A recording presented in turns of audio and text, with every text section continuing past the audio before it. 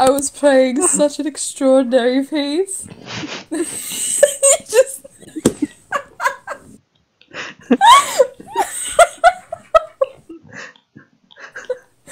I'm gonna fucking kill you.